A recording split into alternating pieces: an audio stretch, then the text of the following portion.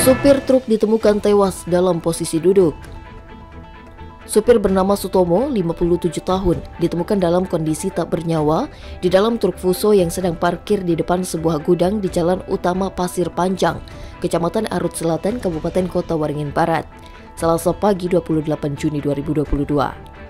Saat ditemukan tewas, pria asal Sidoarjo, Jawa Timur ini dalam posisi duduk bersandar di kabin truk dan pintu kanan dalam kondisi terbuka.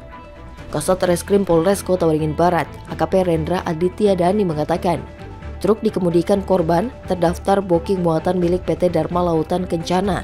Namun sampai pagi truk belum juga muncul di pelabuhan. Setelah ditelusuri, rekannya menemukan truk korban sedang parkir dan pintu kanan dalam posisi terbuka, sementara korban dalam posisi duduk tersandar. Awalnya dikira korban sedang tidur, namun saat dibangunkan tak ada respons.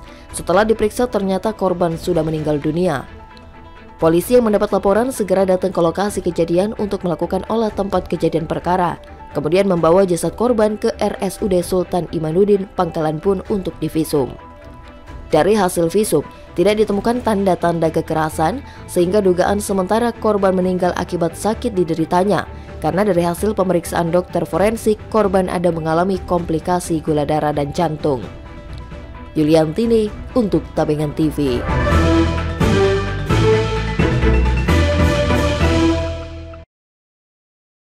Jangan lupa like, subscribe, dan aktifkan notifikasi